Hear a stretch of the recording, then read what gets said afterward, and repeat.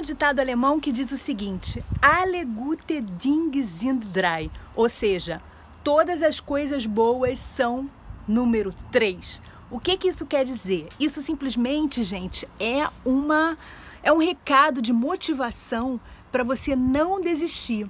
Você que, sei lá, foi casado uma vez, não deu certo, aí foi casado a segunda vez, a gente faz até piada com isso, na terceira vai dar certo. Ou você que começou um trabalho, não deu certo, começou um outro trabalho em outra empresa, também não deu certo.